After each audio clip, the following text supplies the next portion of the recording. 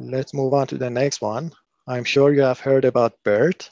GPT was using the decoder part of your uh, transformer block or transformers. BERT is going to use the encoder part of a transformer. First of all, what does BERT stand for?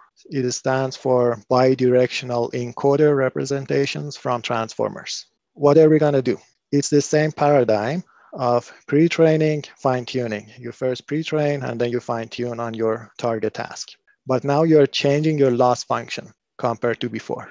Previously, the loss function was a autoregressive loss function. Given the previous words, predict the next word. Here it's a little bit different. What are we gonna do? You're gonna take your input and mask 50% of the tokens that you have at random.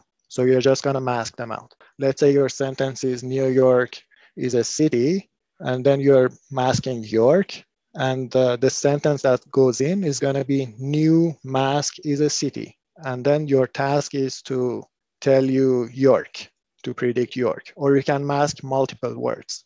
That is task one. There is also a task two, which is if I give you two sentences, is this a next sentence in your paragraph? Is this next or not next? And that is coming out of this uh, part of your sequence. So what is happening is that a sequence goes in, a sequence comes out. The CLS token is going to correspond to next sentence prediction.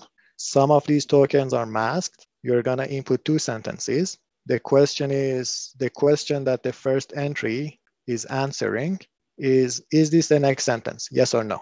And then the masked language model is trying to answer what word did you mask? So the only change that you're doing compared to the previous one is you have you're using the encoder part of your transformer and then you're changing your loss function. Your loss function is predicting the, the masked words as well as the next sentence prediction. So I think I'm going to stop here and continue next session.